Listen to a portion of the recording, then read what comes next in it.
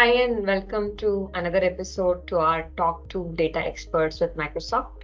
My name is Suma Manohar, and I'm the Senior Specialist in Global Black Belt team for Cloud Scale Analytics, uh, leading ASEAN, and I specialize in uh, Microsoft Fabric. Today, I have two experts from Tiger Analytics with me, Sudershan and Swapnil, and we shall be talking about all the new and fabulous experiences that they have had with working on Microsoft Fabric. Uh, Swapnil and Sudershan, please go ahead and introduce yourselves. Over to you.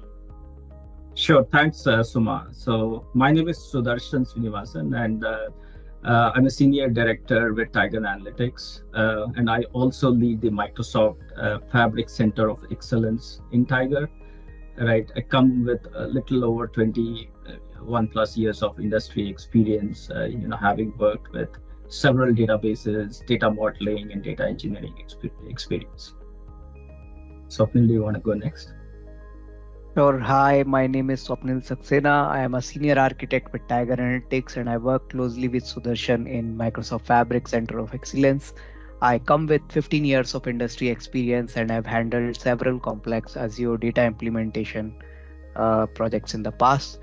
Uh, and thanks for having us. And we are ex- very excited to be here talking to Microsoft and sharing our experiences. Indeed, it's uh, great having you both here. Um, today, we are talking about Microsoft Fabric. So, can you please both share some details about um, how your journey with Microsoft Fabric has been so far. Sudershan, maybe start with you. Sure, I think uh, great question, Suma. So, you know, Tiger Analytics um, has seen rapid growth in Azure data engineering in the past few years.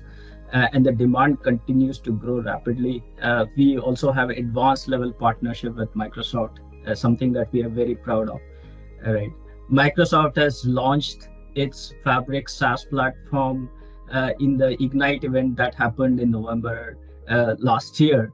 And soon after that, you know, we formed our Center of Excellence uh, team and started upskilling in a very accelerated and rapid manner, right? Uh, and you know, our team not only explored all of the features, but very quickly and rapidly, uh, they have built several uh, you know accelerators and several reusable frameworks um, and we have a go to market strategy as well right and not only that over a period of the last six months we have been uh, very very busy talking to several uh, you know customers and industry domain. Uh, we are trying to implement some of these use cases that we have. And we are also having these conversations with clients understanding their requirements. Uh, so it has been a very, very exciting journey.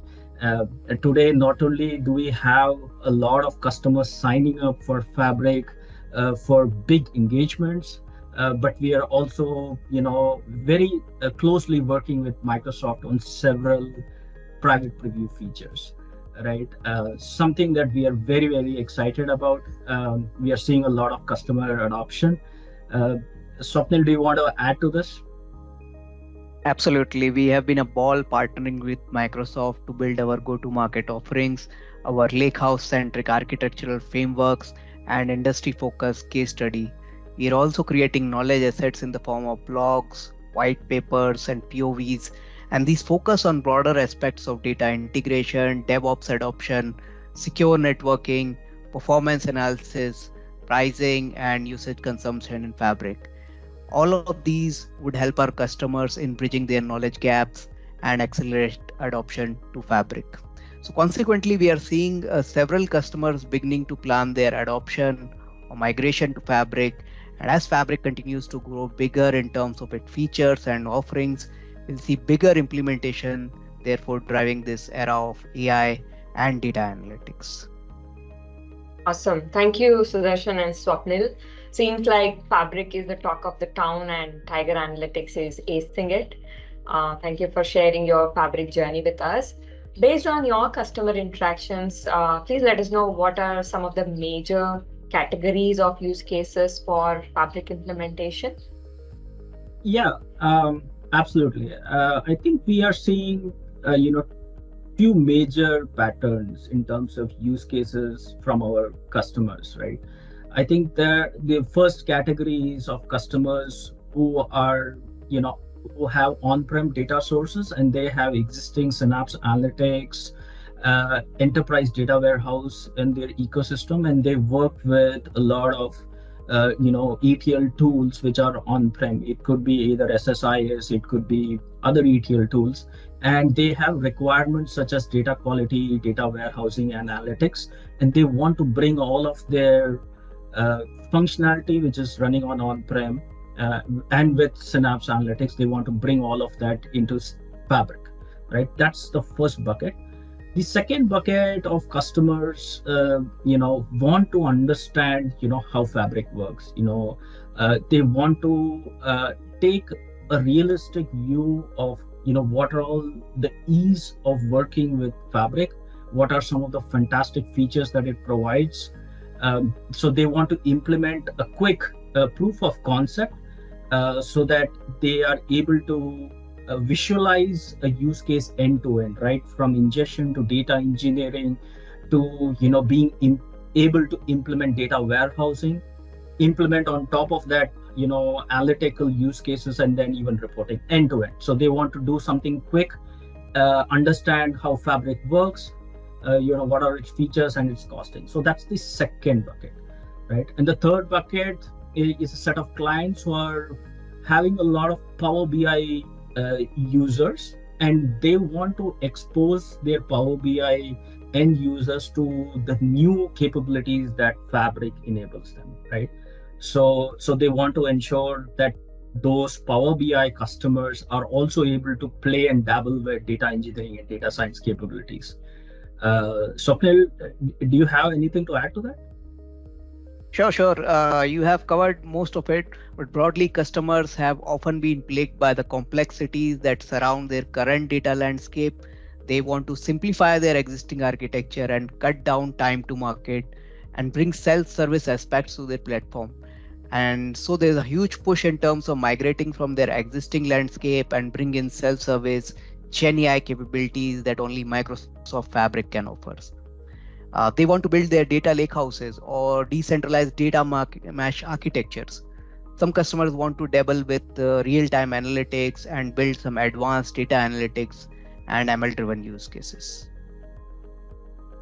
Excellent. Um, so data mesh or what we call in Microsoft is responsible mesh, um, real-time analytics, and of course the Gen AI assistance in doing everything uh, to improve the developer productivity has been top of mind for many of our customers. And I also heard um, Sudershan say talk about POCs and uh, trials. So I'm sure most of our customers know that we do provide a 60 day free trial uh, for customers uh, to help them understand the fabric capabilities. Uh, so just just so that our viewers know that, I just thought of adding that. Uh, moving on, so for customers for whom you are already implementing solutions, uh, Sudershan and Swapnil, what are some of their key asks in terms of features that they want to be enabled on Fabric? Right. I think a great question again, right? So as Fabric continues to bring newer features uh, to general availability and public availability, right? So I believe the key ask from customers is more in terms of the overall ecosystem in terms of better maintainability, security, and automation. These are very key features that the client wants to see implemented within Fabric uh, they want to be able to auto deploy their code and pipelines in fabric with the ease and flexibility that fabric has to offer right?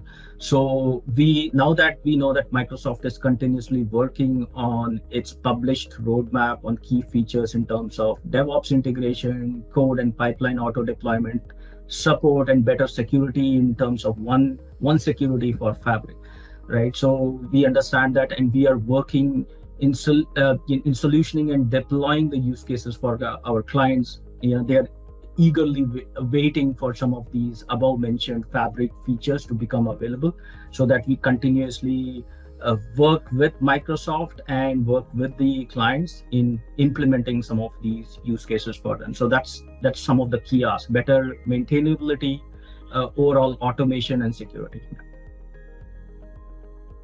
I, I don't know whether I covered everything. Do you want to add more colors to it, Swapnil? Sure. Yeah. So with the low code, no code capabilities coming to the forefront in Fabric, customers often want to simplify their existing code base.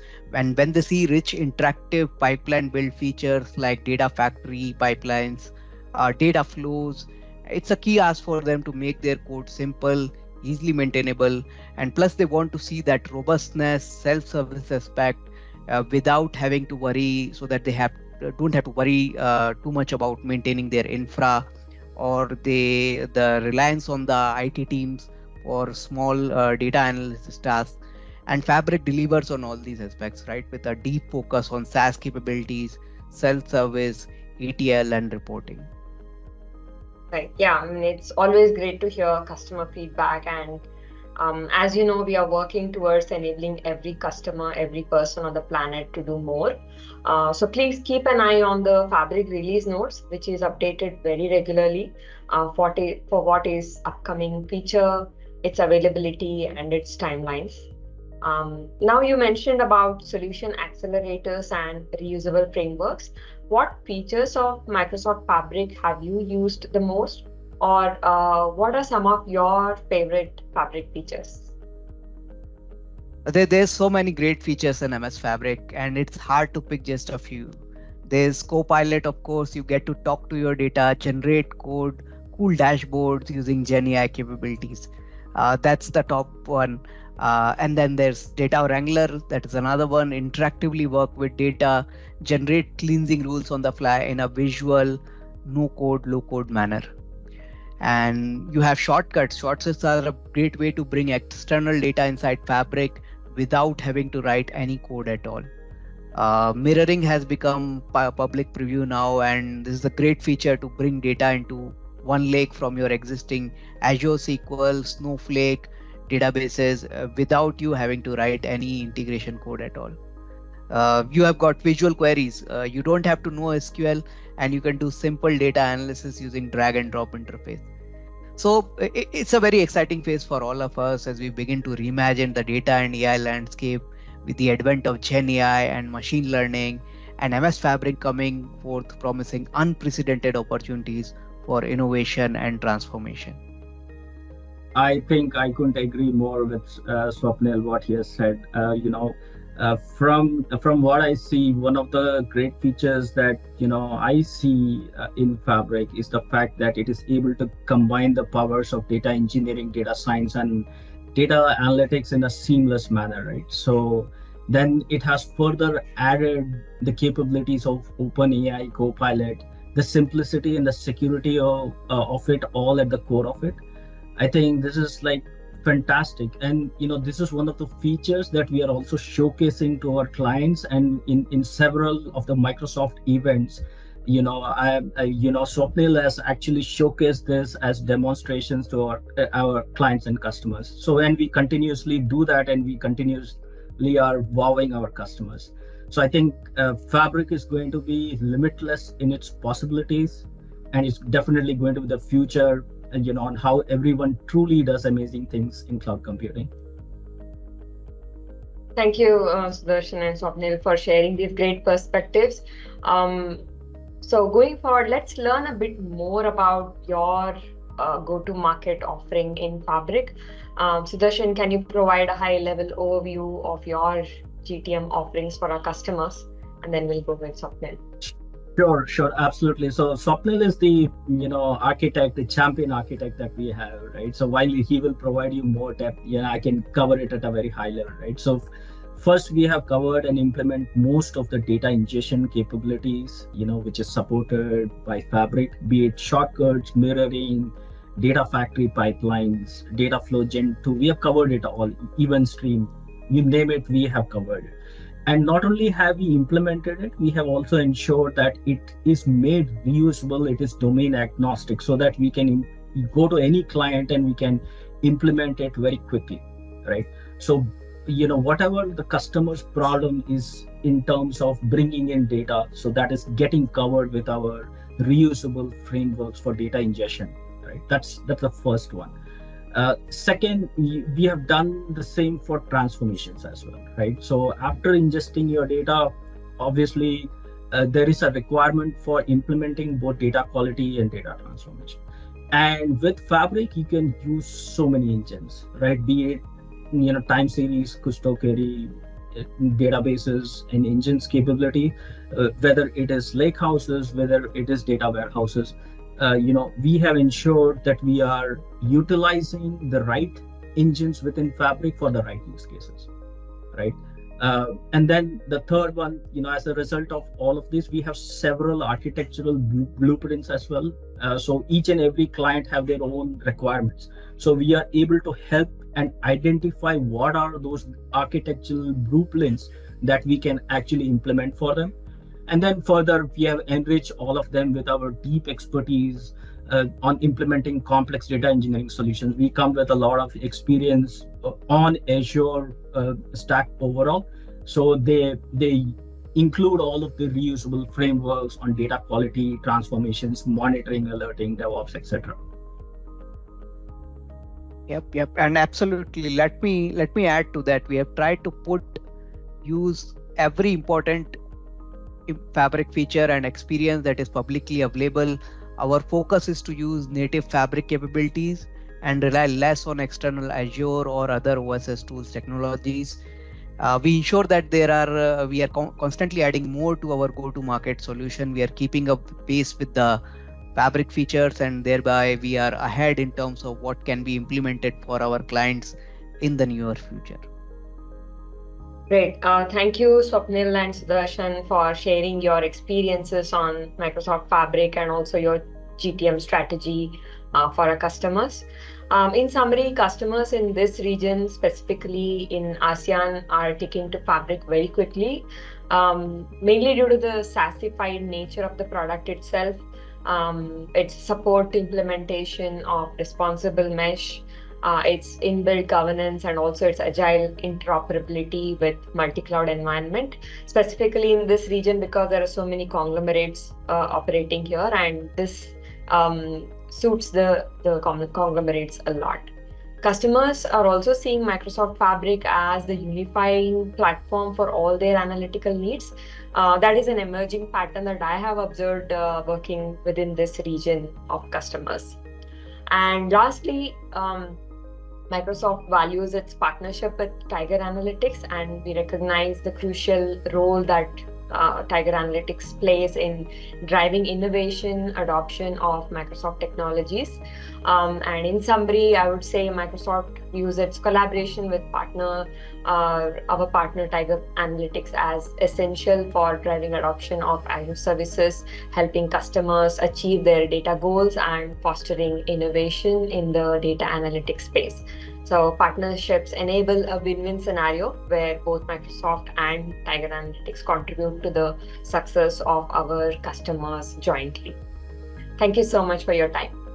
Thank you so much. Great to be working with Microsoft. Uh, thank you for having us today.